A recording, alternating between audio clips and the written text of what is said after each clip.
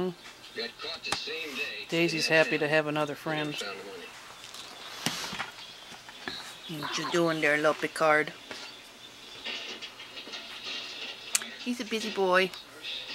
I did clean the litter box this morning, so he's been a busy boy. Like yourself. You just trying to shove salvation down that throat. hey, playing. Hi, Picard. Hi, Picard. Don't drive with me. There's another jug over there on that shelf. He's such a good boy. Doing Going like a weed, ain't ya? Last weighing, you were 12.7 ounces. He got here at 8.7 and he lost over an ounce and then came back. Oh, Jerry's hollering, my dinner's ready. Be back later.